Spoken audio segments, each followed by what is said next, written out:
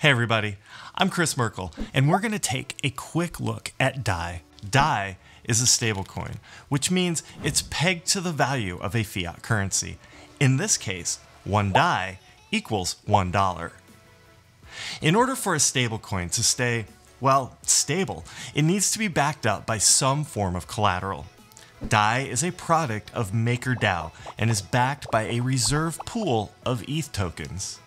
I know, it can be a bit confusing, especially if you are a DAI holder and not using the token for DeFi products. For a quick overview of DeFi, please click the link at the end of the video and make sure to give a like and subscribe for more Exodus tutorials. Since DAI is a stablecoin, it's a perfect asset to use for lending and borrowing, and the bonus is, if you do use it for lending, you'll earn compounding interest at a much greater rate than traditional forms of savings. DAI is completely decentralized, and its stability is sustained by smart contracts that balance the reserve requirements, basically more or less collateral being put in or taken out of the system in order to maintain the DAI price.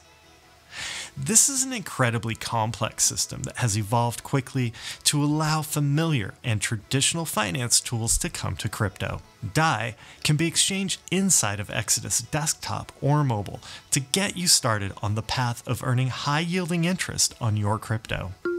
Please like and subscribe. Then let us know how you think DeFi will change the landscape of crypto in the comments below.